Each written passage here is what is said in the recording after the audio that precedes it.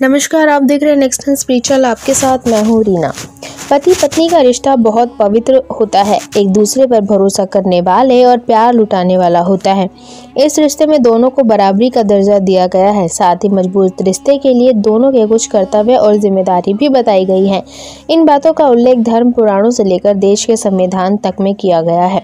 दुनिया के महान विद्वान, कूटनीतिज्ञ, अर्थशास्त्री मार्गदर्शक आचार्य चाणक्य ने भी पति पत्नी के रिश्ते को लेकर बहुत अहम बातें कही हैं। आचार्य चाणक्य कहते हैं कि पति की ज़िम्मेदारी है कि वह अपनी पत्नी की हर ज़रूरत का और उसकी सुरक्षा का पूरा ध्यान दे, उसके दर्द को समझे। पत्नी के लिए कहा गया है कि वह हर अच्छे बुरे वक्त में पति का साथ दे। कुल मिलाकर दोनों एक दूसरे से अपने हर सुख दुख साझा करे और साथ दे। ऐसा करना दोनों का एक दूसरे के प्रति कर्तव्य भी है और अधिकार भी। अपनी जरूरतों को पूरा करने के लिए दोनों को एक दूसरे से मांग करने का भी पूरा हक है। चाणक्य नीति कहती है कि यदि पति निराश है या परेशान है तो पत्नी की ज़िम्मेदारी है कि वह अपने पति को संभाले। पति यदि उससे प्रेम की मांग करता है तो पत्नी को उसे बेहिचक प्यार लौटाना चाहिए, वरना पति बाहर सहारा तलाश कर सकता है। पत्नी को चाहिए कि वह अपने पति को हर खुशी दे।